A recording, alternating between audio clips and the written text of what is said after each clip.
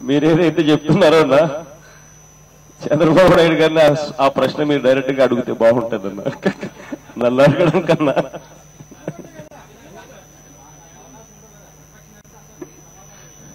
సమాధానం నేను చెప్పాల్సిన అంశం కాదు కదా చంద్రబాబు నాయుడు గారి గురించి మీరు అడుగుతా ఉన్నప్పుడు చంద్రబాబు నాయుడు గారిని అడగండి. కనీసం అప్పటికైనా మీరే అప్పటికైనా మీలాంటి మీద మీలాంటి మీలాంటి మేధావులు కూడా ఈ- ఈ- ఈ రకంగా చంద్రబాబు నాయుడు గారి గురించి అనుకుంటున్నారు అన్న సంగతి అన్న ఆయనకు తెలిస్తే కాస్త కూస్తో ఆయనలో పరివర్తన ఏమైనా వస్తుందేమో.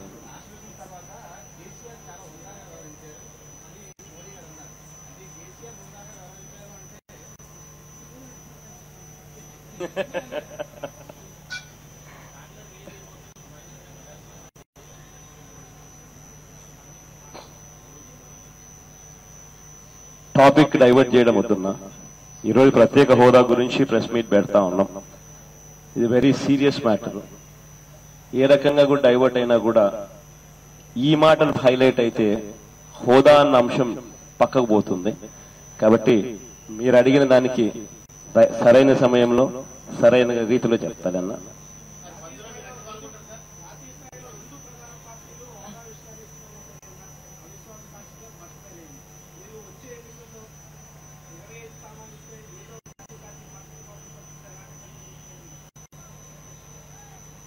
ఏదో ఒక జాతీయ పార్టీ అవసరం లేదబ్బా ఎవరు ప్రధానమంత్రి అయ్యే పరిస్థితిలో ఉన్నా నాకు అభ్యంతరం లే.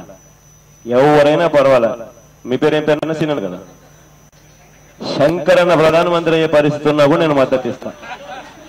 నాకేం అభ్యంతరం లా. నాకు కావాల్సింది నువ్వు సంతకం పెట్టడం ప్రత్యేక హోదా విషయం. అంతే ఇంకా నాకు వేరే అవసరం లా.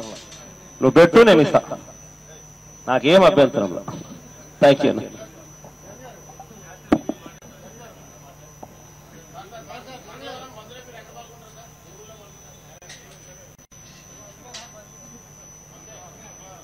బంద్ అనేది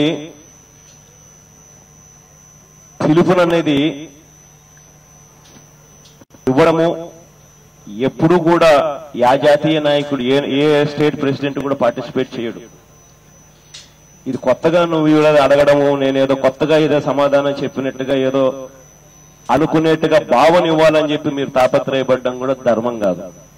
ఇంతవరకు గతంలో ఎప్పుడైనా చంద్రబాబు నాయుడు గారు ప్రతిపక్షంలో ఉన్నప్పుడైనా కానీ లేకపోతే ఇంతకు ముందు కాంగ్రెస్ పార్టీ అధికారం కాంగ్రెస్ పార్టీ ప్రతిపక్షంలో ఉన్నప్పుడు కానీ బంధుకాలు ఎప్పుడు పిలుపునిచ్చినా కూడా ఎవరిచ్చినా కూడా పార్టీ అధ్యక్షులు అనే వాళ్ళు ఎప్పుడు పార్టిసిపేట్ చేయరు. ఎందుకనంటే పార్టీ అధ్యక్షులు ఒక చోట స్టేబుల్గా ఉండి రాష్ట్రంలో ఎక్కడెక్కడ ఎలా జరుగుతా ఉందని పర్యవేక్షించాలి. రాష్ట్రంలో ఎక్కడైనా సరిగ్గా జరగని పరిస్థితి ఏదైనా ఉంటే అక్కడ మోటివేట్ చేయాలి. ఆ మోటివేట్ చేస్తూ పర్యవేక్షిస్తూ ఉండే బాధ్యత పార్టీ అధ్యక్షుల మీద ఉంటుంది. కాబట్టి ఎవరు కూడా పార్టీ అధ్యక్షులు డైరెక్ట్గా పోయి తెల్లవారుజామున మూడు గంటల తెల్లవారుజామున నాలుగు గంటలకి పోయి ఆర్టీసీ డిపోలకు పోయి ఆపే కార్యక్రమం చేస్తే పర్యవేక్షించే కార్యక్రమం ఎక్కడా ఉండదు.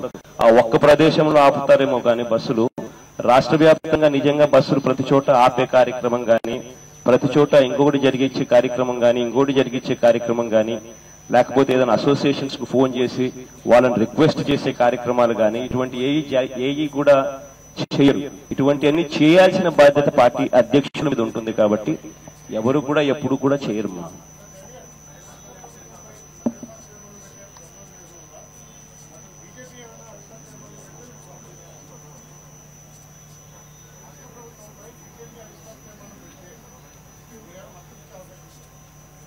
అసలు అవిశ్వాస తీర్మానం పెట్టాలంటే ఎలా పెట్టాలి అనేది ఫస్ట్ మీకు